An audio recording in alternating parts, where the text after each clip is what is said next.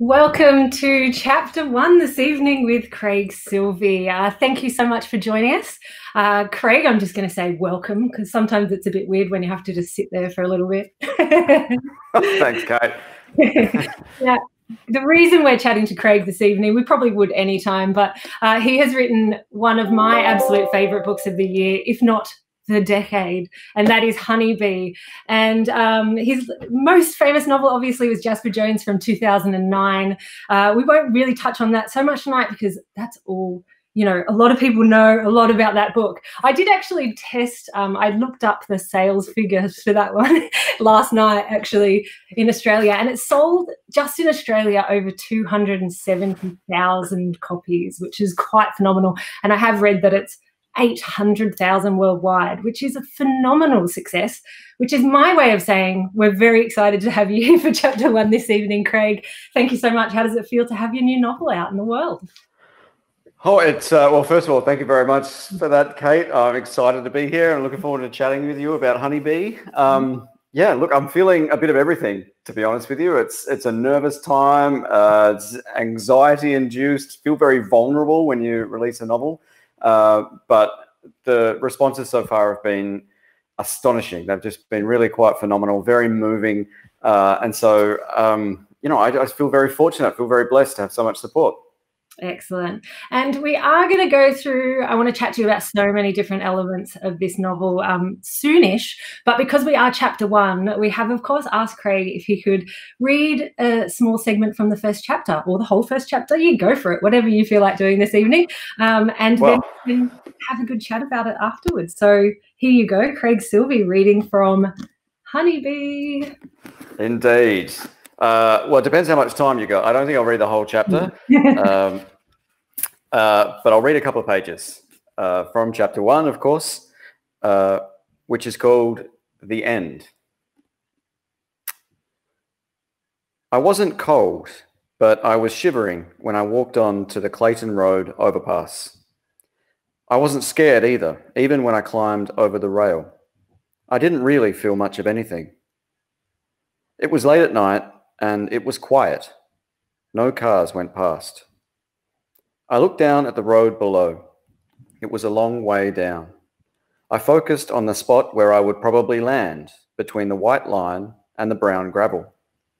I wondered if it would hurt or if I would die straight away. Then I wondered who would find me. Maybe it would be a truck driver or a shift worker. I felt bad for them. I must have been thinking about things for a while because when I looked across to my right, I saw a man down the other end of the overpass. He was smoking a cigarette. I could see the orange end glowing in the dark. I got nervous. He was probably walking his dog or something. I didn't want him to come closer. I closed my eyes and let go of the rail, but then I realized it would be awful if he saw me do it. I decided to wait. I looked back at the man from under my hoodie and I noticed something that I hadn't seen at first. He was on the other side of the rail too. I wasn't sure what to do. I knew I should call out or say something, but I didn't have the courage. He ashed his cigarette and flicked it. I watched it spin in the air and hit the road below.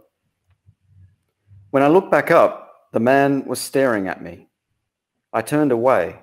I felt like I'd been caught out. I heard his footsteps walking towards me. He didn't rush. I shuffled across and kept my head down. I thought about falling then and there, but my mind got really crowded and I froze. And I flinched when I heard his voice. I'm not here to talk you out of it. I was still looking down. Don't come any closer, I said. Righto. I guessed he was a couple of meters away. Just stay there. I understand. He was calm. I sneaked a look at him. He was old. He had a short grey beard and he wore a dark wool jumper and grey pants. He leaned on the rail and looked down at the road. He didn't say anything else. I edged further away from him. He didn't move, but it felt like he was following me. I couldn't stop shaking.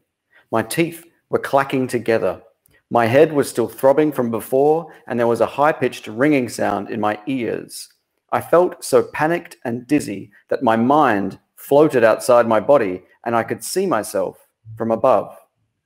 Everything went still and nothing mattered. It was peaceful and silent up there.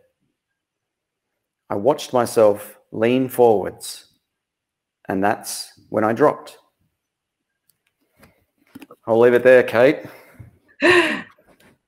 wow, what an opening.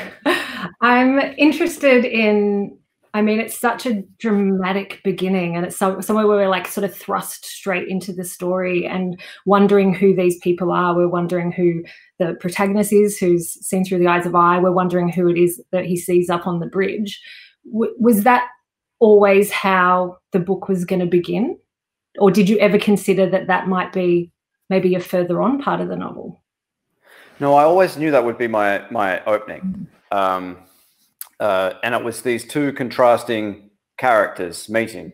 You know, we've got Sam Watson, who is a young trans teenager, and we have Vic at the other end of the bridge, who is an old uh, war veteran, uh, a widower, uh, who is, you know, at the end of his tether. He's exhausted, he's tired. Um, and it was these contrasting figures meeting, which uh, was kind of the ignition point for, for Honeybee. It was the moment where I knew I had something substantive enough to, to build a story on. Mm. Um, so, yeah, there was no question that was always where it was going to start. Mm. And I have heard that part of this idea came from a real thing that that happened. Can you tell us a little bit about the sort of true story that inspired this this moment? Of course, yeah. Uh, that and the the the, uh, the beginning of Honeybees stems from a from a real event. The truth is, a few years ago, my brother was picking up his partner from the airport and bringing her home to Fremantle. And as they crossed the Canning Highway overpass here in Perth, through the corner of his eye, he saw uh, a young person standing on the wrong side of the rail, uh, and they were precariously poised. And so he immediately pulled over and called the police, while my sister in law got out of the car and approached them largely with the ambition just to distract them while help was on the way.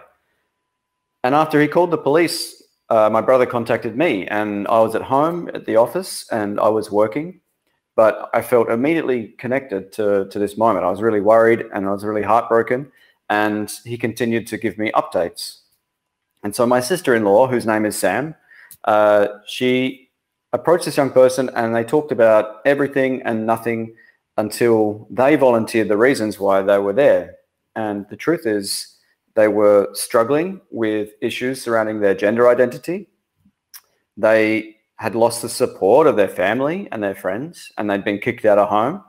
And so they were alone in the world, uh, and they were in a really anguished and hopeless and helpless place. And soon after the police turned up and they dragged this young person back over the rail. They deposited them in the back of an ambulance, and my sister-in-law was uh, just dismissed. Really, she just drifted away from the scene, and they drove away. And in the following days, we wanted to reconnect with this person. We wanted to to check in and offer our support and see how they were. Um, but unfortunately, they had a really common name, and we couldn't find them. They proved to be pretty elusive. And so for me, uh, I had a curious situation where uh, there was a very real person that I had a very real concern for, uh, somebody who had a very real and urgent uh, problem, um, but who existed entirely in my imagination. Hmm. Uh, I, you know, I never met them. Hmm. And so I wanted to understand them better. I wanted to understand the, the, the forces and the pressures that led them to that place that night. Um, and I, I wanted to understand uh, the emotional context that that underpinned that experience. Um, and that's when I started uh, developing Honeybee as a, as a story.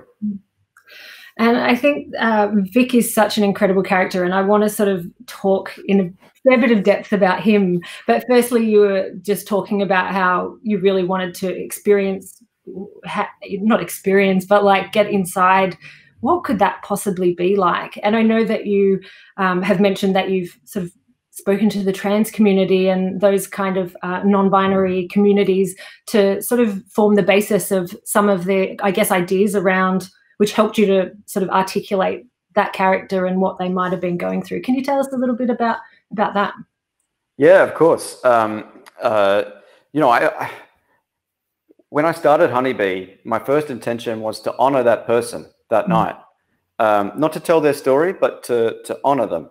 Mm. And what I wanted to capture was the the uh, how it feels. What I, I, wanted to to try to capture the the emotional complexities of uh, of, of what that person will be going through. Um, and I am acutely aware that Sam's story is not my lived experience. Mm. Uh, and so it's always been very, very important to me when illustrating a, a, narrative that doesn't emerge from my own history that I do so with respect and sensitivity uh, and understanding and above all consultation. And so what it required of me was to listen and to learn and to collect testimonies. Uh, so I, uh, I, availed myself of, of, of, people's stories. We live in quite an incredible time where uh, some very brave and inspiring people have, you know, publicly offered their their experiences and their stories online. Uh, so I scoured websites and forum posts and blogs and video logs uh, and and all of the above to to collect people's stories. But more importantly, I was able to connect with support networks like Transfolk of WA.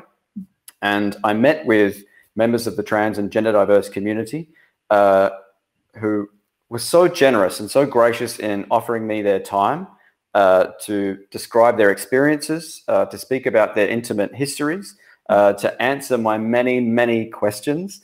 Um, and so, in that respect, it was a chorus of voices uh, which built Sam's character, mm. which which underpinned her journey, uh, and it was that collaboration, it was that contribution from those people, um, which built Honeybee.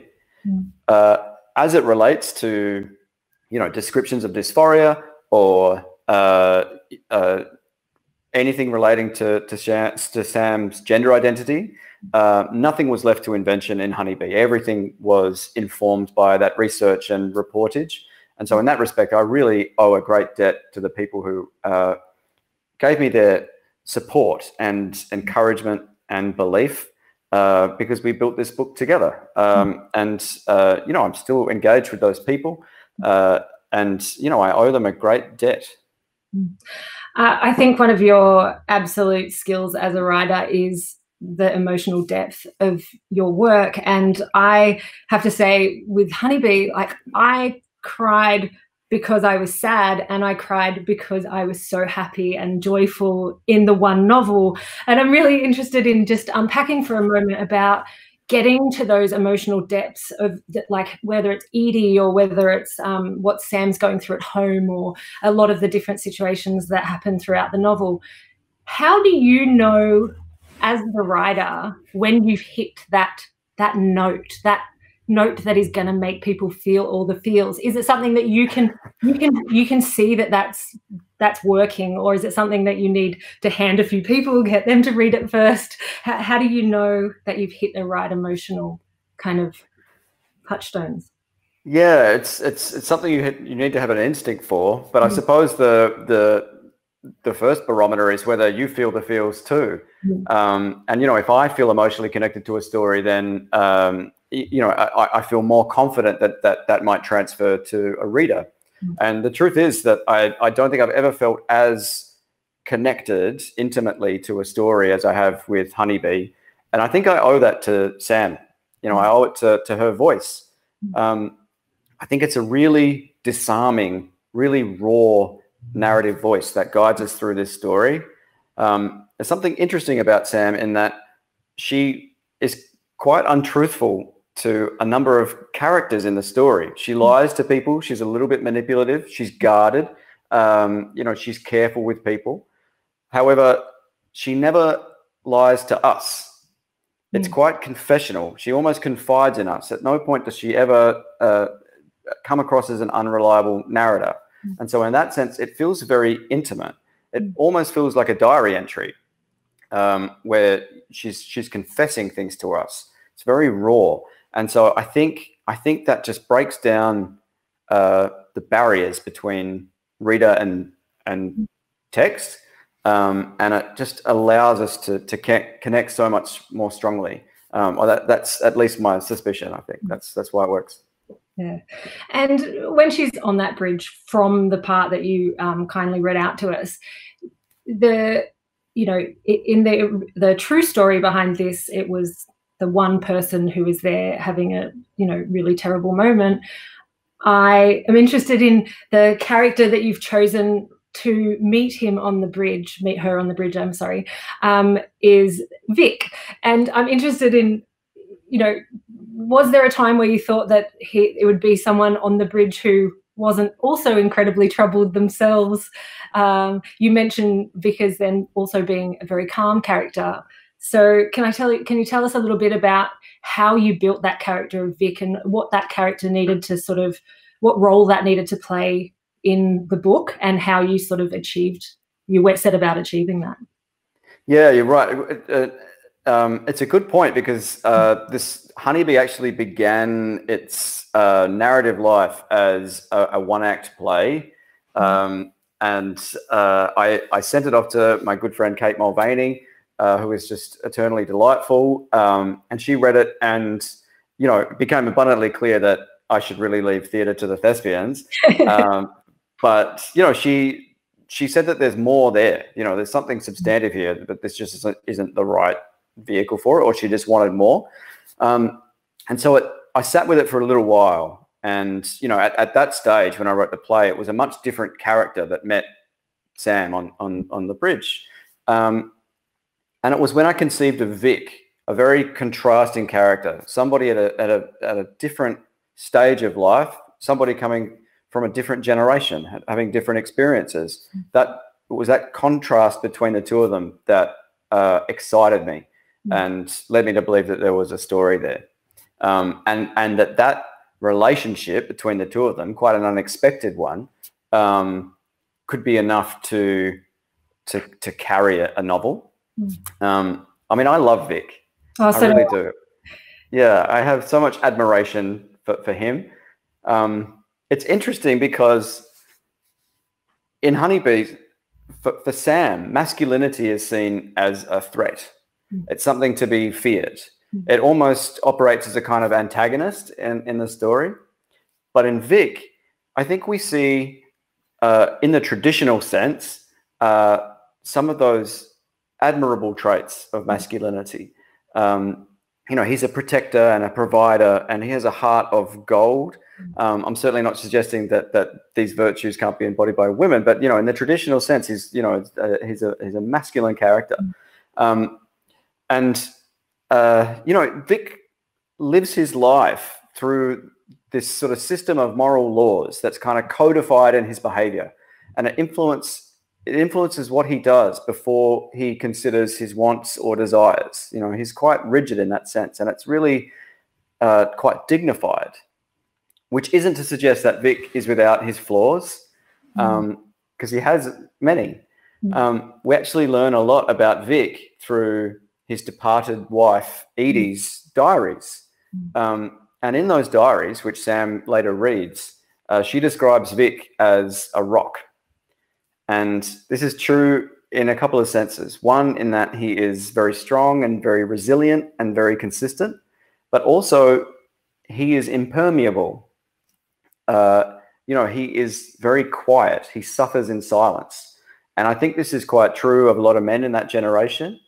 Uh, and it's certainly true of a lot of returned servicemen. Mm. And so, what the relationship between Sam and Vic offers us is that Sam gets the blood from the stone. Hmm. Vic opens up. He confides in Sam. He's vulnerable with Sam, and it changes him. It redeems him. Um, and you know, I, I, I really I love that thread of their relationship that they both improve each other's lives.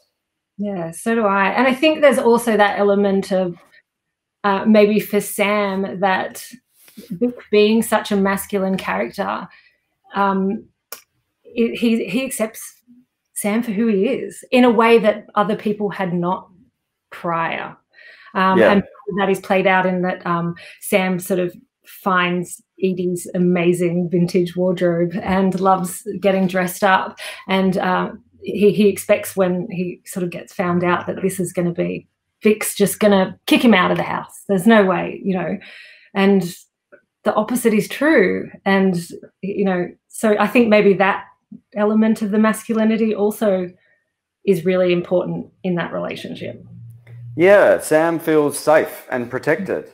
Um, and, and Vic is the first person that Sam ever encounters that uh, doesn't judge her for uh, for who she really is. Mm. And you know, there's something really special in that. And and it's you know, it's it's it's a difficult thing for Sam to adjust to. Sam comes from a really neglected household, very inconsistent, insecure, quite a volatile background. You know, and she's raised by a single parent um, who smothers her with love and then retreats and retracts it. And it's very confusing for Sam. She's she's distrustful of relationships for for that reason. Um, and so when she meets Vic and has this very consistent, very solid, very safe, very protective person uh, in, in, her life, um, it's difficult to adjust to. But you know, she, I don't know, she she loves Vic. She she comes to really appreciate that relationship. Yeah, absolutely. And uh, th- through that, sort of Vic takes Sam to go and see a drag show and this is, I have to mention this part. This is not really a spoiler. I just had to mention this part because it is one of the most fun scenes I've read in a really long time. I absolutely love love this scene and it almost it just the tone of the novel really shifts in this scene um, i live quite close to the imperial here uh, in the inner oh, west oh, wow. i've been to many of these drag shows and i'm like how did he nail the drag show um, but i'm interested in um, the writing process around that and the character building um, we often we're, we're introduced to Fella Fitzgerald who is competing for my favorite character alongside Vic. Uh, can you tell us a little bit about the writing of that scene and and and how you sort of got into that mode and created this sort of vibrant vibrant experience for the reader. Yeah absolutely. I mean i have always loved drag. I just adore it. You know it's it's just so fun and it is subversive and satirical and rebellious and riotous and it's just endlessly entertaining to me. I just love it. Um, and so yeah it's it's sam's ambition before she dies mm. to see a drag show. Mm. And uh, it's it's Vic's ambition to to help Sam live that dream. And so um, you know, off off they go uh, to a, to a drag evening. And in in writing this scene, um, I wanted to capture the idiosyncrasies of Perth drag. Mm. Um, you know, so I wanted all the gossip, all the kind of local patois, um, uh, anything that I could collect to to distill what Perth drag is. And so I did enlist the support of uh, a couple of local queens. Um, one tour guide was uh, went by the name of Sky Scraper. uh, it was just wonderful, all six foot five of her, yeah. and she was great. You know, she she she taught me a bunch of stuff. Uh, you, you, know, uh, everything about Perth drag to where you know um, all the various nooks and crannies from which glitter can emerge. Um, you know, it was it was great. But one thing I did learn uh, that interested me to the extent that I had to include it in the book uh, was this kind of caustic rivalry between drag queens and hens nights. I found that really interesting. So Honeybee Honeybee is set in uh, 2017. So this is before same-sex marriage legislation was uh, uh, was passed, and it was interesting to me that um, hens would favor LGBT venues, particularly drag clubs. And I understand why, because it's a safe space for them. It's, you know, they don't want to go out and be harassed. They want to go out, cause a ruckus and, uh, and have a good time and, and feel safe themselves. Mm. However, it struck me as particularly tone deaf and disrespectful to go out and celebrate nuptials in a house where that right wasn't afforded most of the patrons, you know. Uh, and so this notion of the drag queens in Honeybee uh, having this kind of distaste for hens nights, which culminated in this really savage takedown uh, from one of the queens as part of a kind of comedy set. Uh, I really delighted in in writing that. Um, it was a lot of fun. Uh, so yeah, being able to design my own drag show was a real hoot. I mm. really enjoyed it. I have to say it was harder than I anticipated to come up with new drag names.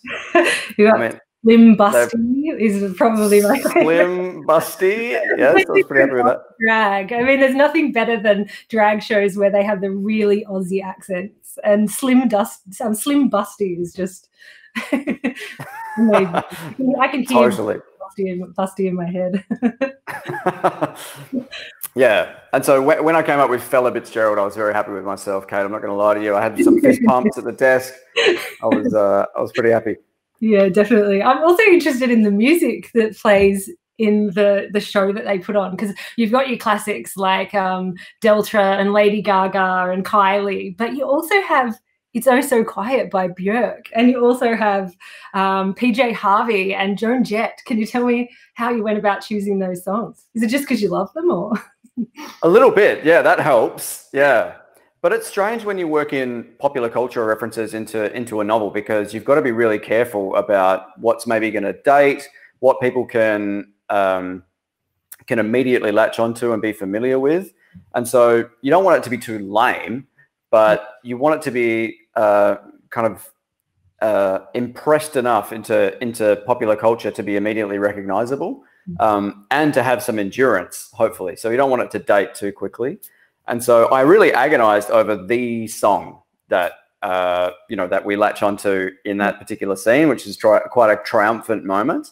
Um, and uh, you know, it, it, was it was something I agonized over, but uh, you know, I think it will I think it will endure.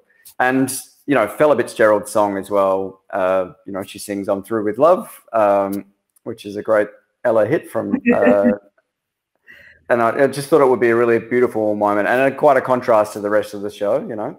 Um, so yeah, I'm really careful about those things that, that go into the book. We do need a honeybee playlist. I 100% right. agree with Sue Bob. Bob and me there. We definitely have to do the playlist. Actually, you you make the playlist, write a few bits about it. We'll definitely put that on the Dymocks blog. Um, totally, yeah. Let's get on to that. That sounds so fun. Um, a lot of the characters in the book, and there's still a, a, bunch more characters that I haven't even mentioned. I'm I'm assuming there were other characters that you wrote that then you cut out because it's such an A list of characters that make it into the book. Um, but I'm really interested. I wanted I wanted to talk about all of them, but I do definitely want to talk about uh, Vic's neighbor Aggie and the role that she plays in Sam's life. Can you tell us? Uh, can you introduce us to Aggie and tell us a little bit about her? Oh, I certainly can, uh, and I'll be delighted to do so because I really adore Aggie. She's hmm. great. Um, so Aggie lives, yeah, she lives on the same street as Vic, and uh, she notices Sam when Sam goes to stay with Vic, and almost immediately adopts her as a as a best friend. It's hmm. almost as though Sam has no choice in the matter, mm. and uh, Aggie just sweeps her up into into her life. And as I mentioned, you know, Sam comes from a really different background. Uh, the Mima Doomas uh, are a very stable, very consistent, uh, very middle class mm. suburban nuclear family. And so when Sam gets swept up and invited inside, mm. it's quite exotic to her. You know, mm. she's never experienced a dynamic quite like it. And so it takes her a long time to adapt. It takes her time to adjust to the fact that these people are just kind and very supportive and very enthusiastic. But Aggie in particular, you know, Aggie is vivacious and charismatic and wildly opinionated. Um, and she is an unrepentant nerd. Um, you know, she uh, loves Dungeons and Dragons. She plays the euphonium. Uh, you know, that she's got all those things going for her, you know. Mm. Um, but I think what Aggie offers the most, other than, uh, you know, unsolicited advice and, uh, you know, overwhelming love, is that she offers Sam uh, perspective. And so Sam, by virtue of being quite isolated and alienated, has kind of grown up with this contorted vision of herself. Uh, mm. And it's full of doubts and it's full of self-loathing. And, you know, she doesn't have a very high opinion of herself. Mm. Whereas this person who sweeps her up and immediately just loves her for, for who she is. Um, it's quite confounding. And over time, uh, you know, it's Aggie's impressions of Sam uh, that become a huge catalyst for change. And it actually happens the moment where uh, in Dungeons and Dragons, uh, before you embark on a new game, you fill out these things called character sheets. So you select a character and you imbue a character with all manner of attributes. And because Aggie's a complete geek, she fills one out for Sam. Character she is, and she describes her as chaotic good. Um, and when Sam gets this character sheet, it's almost like meeting a stranger. She's so far removed from who she truly is. Um, and when she when she comes to appreciate that, it's a real agent of change for for her. And I think that's what relationships and support can offer us. You know, I think it's a really important part of of growing up, and I think it's a really important part of welcoming people into your life. And sometimes the important part as well is, well, I guess the part that plays out very well in a novel is Sam doesn't always listen to the advice and it's not like oh well you've got some great characters around you so now i'm just going to do all the right things there's yeah. many, points of the novel where you're like oh sam you, i don't know if you should ah you know these kind of things which makes it for so much incredible dramatic tension and and between these incredible characters and you, you know as a reader you appreciate exactly what they are and sam does too but it's just sometimes he's just not ready to, to I don't know. um, but I, I, love that. I love all those tensions in the novel. I think it's amazing. I also wanted to say a huge thank you to everyone who's making these amazing comments. It looks like a lot of people have, have already read and enjoyed and loved the book. Um, and yeah, I'm loving all these comments. So we're going to open up to some questions very, very shortly. Um, but I wanted to um, ask a couple of extra things. I wanted to ask a little bit about, um, I mean, in Jasper Jones, one of the major characters is a teenage boy as well.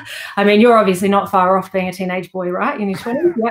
I was interested in yeah i was interested in what draws you to these these characters um, sort of at very influential points of their lives do you have any insight into that yeah i mean i guess i am essentially still a child um, at, at, least you know emotionally um, yeah, I don't know. I, am not sure why I, am consistently drawn back to this period in our lives. Mm. I think it has something to do with the fact that the best novels, from to my mind, exhibit change. Mm.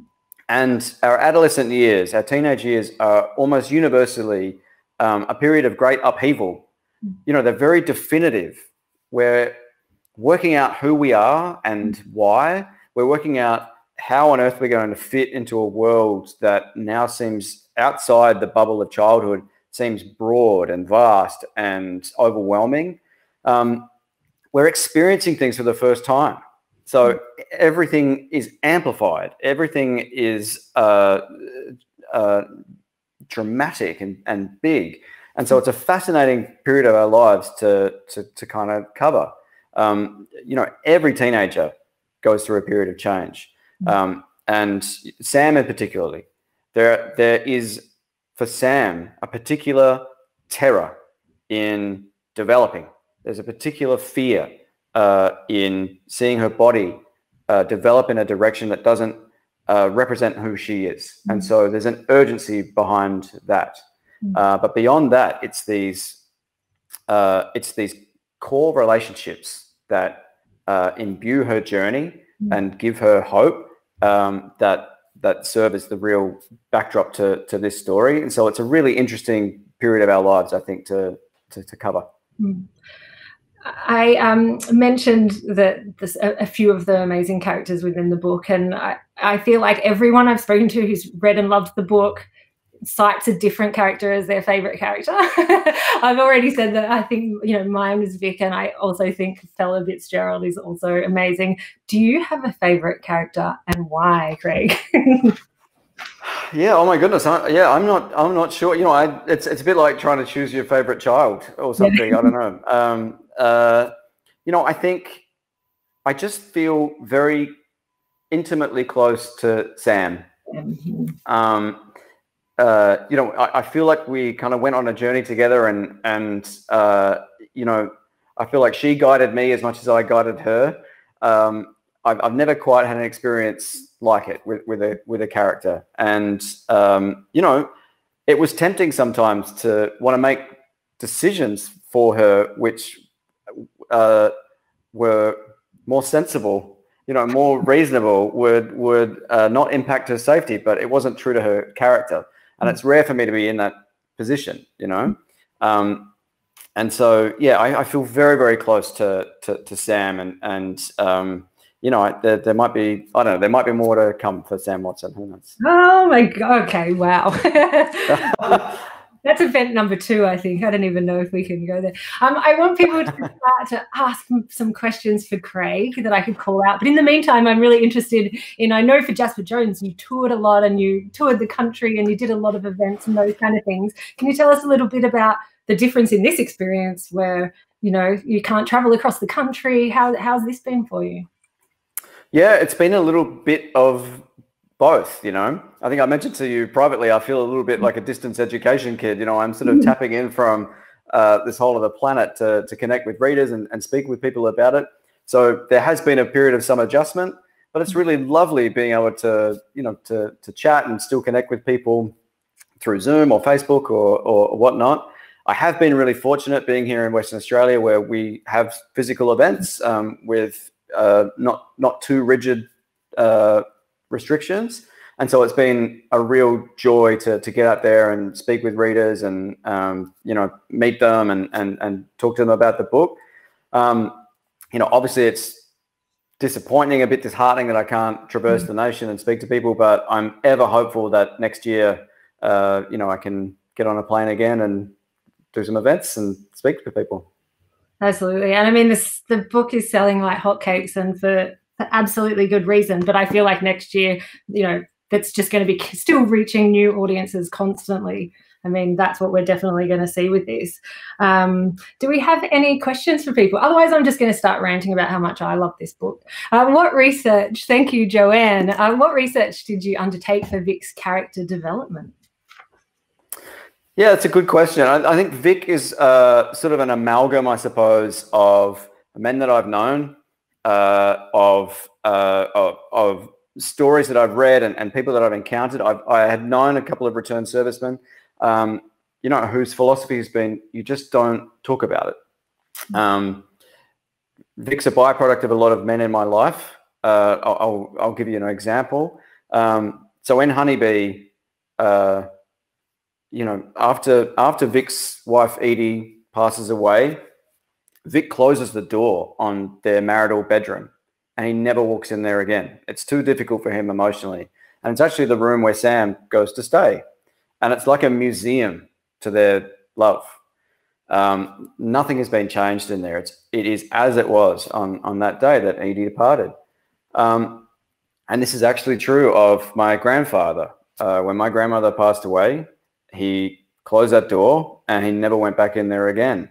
Uh, he went, he slept in a sleep out, and and that was that. That was that was an area of the house that he never, for the rest of his life, never never went back into. Um, and I found that really heartbreaking, and I found that also quite indicative of uh, of how men of that generation will often cope with emotional duress. Um, you know, for better or for worse. Um, but I also found it as a kind of profound testament to their relationship and their love. Um, uh, you know, he wasn't a very effusive man, my grandfather, uh, but there was something really quite profound in that gesture, which uh, spoke to me a great deal. And so, you know, I, I, I, it felt natural for me to want to give that to Vic. It felt like something that uh, he he might adopt. Oh my God, if anyone hasn't read the book out there, this is the kind of goosebumps you get when you're reading a book, listening to Craig tell the, the true stories. Um, we've got another question here from Karen. Uh, the chapter names are brilliant and insightful. Are you particularly pleased with one? Oh, thank you, Karen. That's very nice of you to say. Um, yeah, a lot of thought went into the into the chapter titles for, for Honeybee. Um, I will say that I do have a particular affection for one chapter in particular and, and, and one chapter title, and it's the chapter called Cinderella, um, and it is the it's the Drag Night chapter.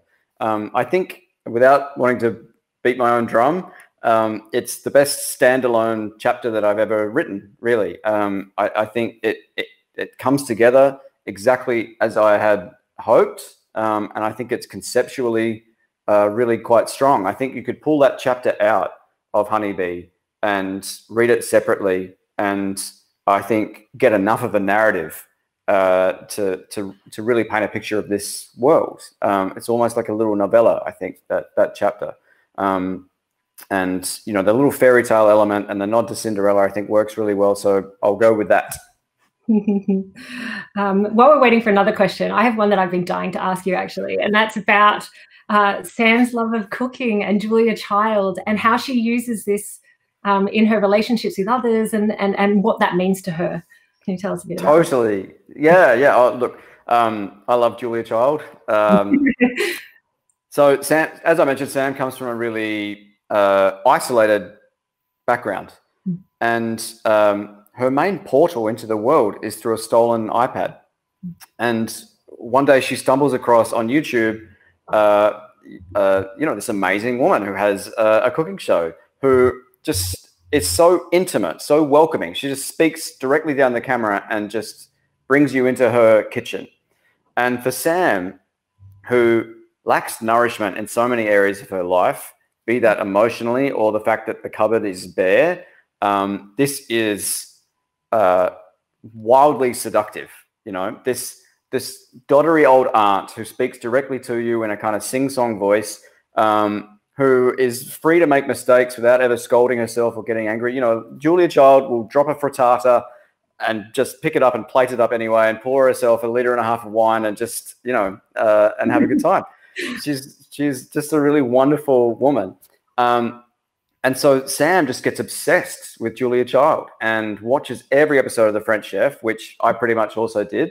Um, and it gets the obsession gets to the point where it's almost like Julia Child becomes her guardian. Sam mm. starts to talk back to her, and and they have this kind of relationship, and she uh, seeks her out in for comfort in moments of distress. Um, but most importantly, almost by osmosis, Sam learns how to cook, and uh, cooking becomes a few things for Sam. One, it's one of the few ways that she uh, can reliably ignite this sense of confidence in mm-hmm. herself. Mm-hmm. She's good at it, and she knows that. Um, and so it's a you know it's a really beautiful thing that she has. Um, but it's also given the fact that she finds difficulty in uh, describing her emotions to to other people. It's how she lets people know that she cares for them. Mm-hmm. It's uh, if if if Sam loves you, she will cook for you. If Sam uh, you know holds you in high esteem and wants to wants to keep you, um, you know she'll cook for you, and uh, you know it becomes almost her main aspiration in, in Honeybee is, is to is to cook and to and to be a chef, um, and yeah, she owes that to Julia Child. Amazing. I wanted to eat the food too, so it's very effective. But Lisa's asking here, um, how long did it take to write Honeybee? Yeah, so first draft I think would have taken two and a half years or thereabouts. Um, and then the edit, uh, I think, took maybe between six and nine months or thereabouts from you know the structural report to to the line edit, etc. Uh, so maybe three years all told. Yeah, wow. Wow, that's incredible. and I mentioned before, which is while we're waiting for another. Oh, no, here we go. We've got one. Carly uh, says, if the movie was made into a film, who do you think would play Sam? That's a brilliant question. Right. Well, uh, the, the good news is that producers are circling, um, and we're not actually too far away from uh, uh, fielding the offers and making a decision. It's actually looking like Honeybee will be a series drama, so it will probably be television, which will allow the characters a bit more time to flourish and develop, and maybe some subplots, etc. Um, and maybe even future seasons. Who know? Which which would give us maybe more Sam Watson. Um, uh, I the, the truth is that um, that Sam Watson, the the the actor right now, uh, is probably about nine years old and has no idea that they're about to be casted. So, um, so it's a bit hard to say who's going to play Sam at this point in time, uh, just because development takes a little while. Um, but you know, I have some ideas for for sundry characters. You know, for example, I would adore uh, Hugo Weaving to play Vic. I, I think that words work really well. Um, so you know, if someone could put a line out to Hugo, we could uh, we could get that ball rolling. Um, Yeah, yeah, it'd be really. I love casting. It's it's the most important part of of adapting for screen. Um, so I'll be really interested to see who we come up with. Yeah. And is there anyone watching now from one of the film companies being like, "Damn it, it's TV"? Oh, there's still time. There's still time. um, we, got, we got Sue here saying, "Did you think of an alternate ending for the book without spoiling it for people who haven't finished? Was there a different way it could have ended?" Oh wow, that's an interesting question. Um, I have to say, no, no, I didn't. I mean, I didn't conceive of the ending uh, when when I'd started the novel. You you you're never quite qualified to to know that yet. So you have an idea of maybe where the story might be heading uh, and what changes might take place, but there's always room in the margins for a story to to weave and weft and, and go where it will. Um, and so by that virtue, you a story almost moves of its own accord and it tells you how it's going to end. You know, you sort of discover the ending as you write. Um, and so I'm never really in a position where I feel like I'm contending with four different options for an ending. Um, you just wait and you persevere, and uh, and then you almost intuitively know that moment where the, the, ending emerges in your thoughts, and you just know that's where you're headed. Um, and usually that doesn't happen until you're at least halfway through or well into or heading towards a third act. Mm. Well, given the conversation that we just had as well, it might be that there's another ending to come. There's lots to come, yeah. um, and we've got Joanne here saying, Honeybee helped get me through the second lockdown in Victoria. Has your reading life been affected by COVID and has reading helped you get through it? Awesome question. Yeah. Oh, hello, Joanne. I'm, I'm my heart goes out to you. I'm so sorry that things have been tough over there in Victoria. It's it's it's really tricky. Um, you know, I've been really heartened though by the fact that in a time of calamity and isolation, that so many of us have turned to books. You know, our industry have, has stayed, um, you know, profoundly important, and uh, I think it's because stories help us feel connected. It's it's different to being online or being able to uh, maintain relationships online um, because it's more intimate, I think. I think we reach for books in, in times where we feel alone because, you know, reading is a solitary act that helps us connect to other people and live other lives, you know. Um, with that said, uh, I'm just getting back into the habit of reading. The truth is that while I was writing Honeybee, I read very little. Um, uh, the, the, fact is that when you have a narrative voice that is as delicate as Sam's, you don't, well, I tend to be very protective of it. And so I don't want anything influencing that. Um, and so I, I, you know, I had a dry spell of almost three years where I really didn't read too much at all. I read some scripts and uh, some nonfiction stuff, but I've been out of the loop with fiction. So I'm just starting to eat it back up now uh, that I have a little bit of time. Um, so, yes, yeah, so COVID has helped me uh, read a bit more for sure. That's wonderful. I think we're probably almost out of time. We've maybe got time for, we've probably gone over time, but we're having such a good chat that let's just keep going. I think we've probably got, we've probably got another question in us. But in the meantime, oh, here we go. Lee, Leanne, uh, thanks for this. What's your creative process? Special room, regular hours, journal? Uh, everything except the journal there, Leanne. Um, yeah, I have a I have an office uh, which I attend to pretty much every day when I'm when I'm obsessed by a narrative when I'm when I'm cultivating a novel. Um, so I'll work a an afternoon session from between 12 and 5 p.m. or 6. Then I'll break for dinner and I'll cook something. Uh, I'll reacquaint myself with my partner and I'll try to relax. And mm-hmm. then uh, then I'll do another session from about 9 p.m. to about 1 or 2 a.m. Mm-hmm. and uh, and I'll do that about six days a week. Um, and that typically is, is, is how it works. Um, I'm very monastic in my approach. So, uh, you know, my, my desk is usually quite spare. There's no lights allowed in the room bleeding from the windows. There's no music. Um, uh, because the truth is that you need to allow yourself, you need to allow your thoughts to, to drift into a space that lets you create from a place of some purity. It's hard to describe, but a writer needs to inhabit the same sort of dreamlike meditative space that we as readers uh, drift into when we're immersed by a novel. You know, when we're when we're spellbound and mesmerized by a story, um, we lose all sense of our own identity. We don't know who we are. We don't know what time it is. We don't know where we are. We lose all sense of appointments we might have or, or any of the intrusions of the everyday life. And we exist inside this imaginary space that we're creating as we comprehend and interpret these words. And so an author needs to get themselves into that space, into that dreamlike space, but they need to make it up at the same time. But you also need to reserve enough of yourself uh, to record it.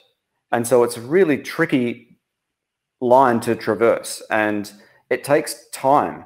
If nothing else, you just need to persevere and be determined and really stubborn and rely on little rituals and routines to allow yourself into that space that a story can unfurl of its own accord. Mm-hmm. Um, you can try to write from outside that space, but it's never as pure, and you often find yourself editing it out afterwards. Um, when writing really works is when you almost feel as though, as a writer, you're a conduit or a spectator in your story, and it happens kind of organically, if that makes any sense at all. Mm-hmm. Um, yeah, and so it just takes a lot of time. Yeah, it absolutely does. Uh, we've got last question, but in that sense, when you knock off work, like I get home from work and I say, "Oh, this thing happened today," and "Oh, the you know big book didn't show up on time," and blah blah blah. Do you walk out of your office, reacquaint yourself with your partner by saying, "Do you know what my character did today?" or do you sort of keep that in your mind, in your own sort of space? Yeah, the, the, the, truth is, unfortunately, it's really obsessive. And uh, my brain is a particularly difficult one to, to turn off. Um, yeah, an author lives a couple of lives, really. You live a private world where you displace uh, real life in favor of a fictional one that you're cultivating. Mm. And uh, your imaginary cast of characters takes precedence over the, you know, the, the real people that you're uh, intending to be a reliable part of their lives. Um, and so it displaces everything, and you live kind of locked into this uh, this strange um, penumbral space where you kind of have a foot in both doors. Mm. Um, and it's and it's tricky. It's difficult. It makes things difficult to to kind of manage sometimes. Mm. But then that private world changes, and there's a transition point, and it's when your story becomes one of these, becomes a book. And so the private world becomes a public one when an author hands the story over and gives it to readers and appreciates that it's not theirs anymore. It's for readers to interpret and make their own. And it's it's a really beautiful part of my job, handing a story over to, to, to see what kind of trajectory it might have or what uh, I don't know what conversation might emerge from it uh, the scope and sophistication of how people might connect to it. It's really fascinating and it just gives my working life meaning. So thank you to everybody who supports my work. I really appreciate it. Oh, well, congratulations and thank you for bringing us such an amazing work. We've got our last question this evening from Marg. What is the next book from you, Craig? Oh, thanks, Marg. I'm glad you're looking forward to the next one. Um, the next project, I have to say, would probably be uh, working on the adaptation for, for Honeybee. Um, I, would expect to be uh, uh, an executive producer, uh, and I'll be part of the writing team. I'll, I'll, be head writer, so I would, if it is television, I'd probably work on uh, a few episodes, and certainly be part of that that writing team that that brings the story to life. So that'll keep me pretty busy. Uh, I do have a novel that's kicking around in the back of my head, uh, but I can't really speak too much about it. I, can talk around it for about 15 minutes and make no sense, but suffice to say, there'll be another novel, and you won't have to wait ten years for it. I promise. and hopefully, in the television show, we'll see you kicking in as like one of the guys in the bar, or someone come along to see the drag show. yeah, maybe I'll just moonlight as a drag queen. Well, I might have to shave, yeah. but uh, you know, I can see a cameo there for sure. Slim, Slim Busty. We'd love that. We'd love that. Um, I want to say a huge thank you, Craig Silvey, for joining us on chapter one this evening. We wish you all the best with this novel. Um, I'm sure everyone who's listening is entirely convinced, if you haven't read it already, you should absolutely go and grab a copy of this first thing tomorrow morning. Um, it is one of the best novels. It's Dymocks Book of the Month. Uh, we absolutely love it here at Dymocks. And make sure you also buy it for like every single person you know at Christmas too. That's a good idea. Um, but Craig, a huge thank you for taking the time to speak to us this evening and the best of the luck with the novel. Oh, thank you, Kate. I really, really appreciate it. And, and thank you, everybody, to, for tuning in. It was really wonderful. Great chat. Yeah. Great. So tune into another chapter one soon. I've got one on Monday night with Dolly Alderton. So looking forward to that as well. Thanks a lot, guys. Good night.